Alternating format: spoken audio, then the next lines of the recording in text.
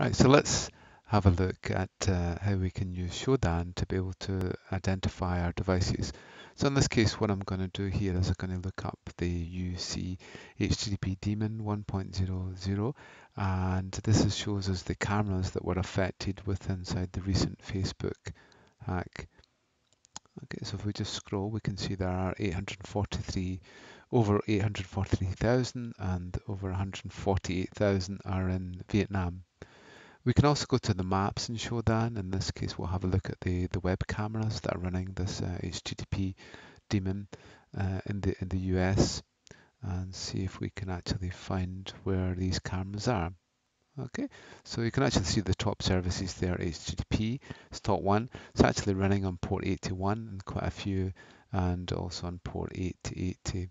Top countries, Vietnam there, Brazil, and and so on and it actually gives us an idea of the, the top organizations which are using the cameras. So let's now go to, to Linux Kali and we'll use the, the Shodan uh, command line interface to be able to do some searching.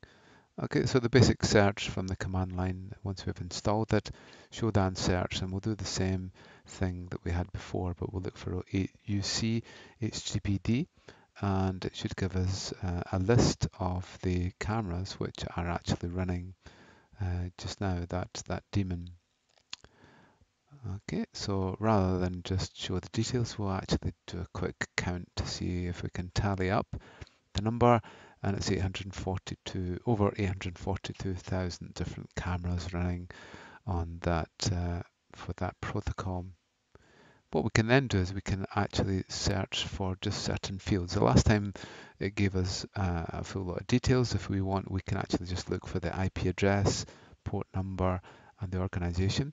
And here we are. Here's the top ones in there. We can see the ports that, were, that are running from there. And now what we can do is we can look at uh, some images. So we go to images.shodan.io we can actually see there's a whole lot of uh, cameras that are broadcasting an, an image across the uh, across the internet. So if we just scroll down, we can actually see all the cameras which are coming through here, running off the HTTP uh, protocol. Okay, so there's one, and we we'll, should be able to see the map and the port that it's running, port 80. So so don't actually go ahead and, and log in if there's a username and password, then from an ethical point of view, you shouldn't really be logging into the into the camera. Okay, so there's there's one there, and we just scroll through. We'll actually see a whole lot of uh, these cameras uh, broadcasting live. There's an interesting one there, and it looks like it's a shop.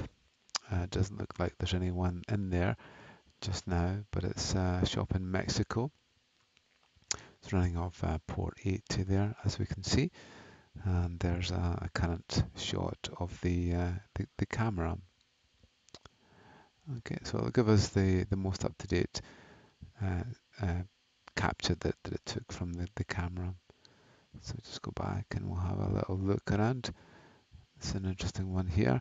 This looks like it's a, a bedroom somewhere in Argentina, uh, broadcasting uh, live.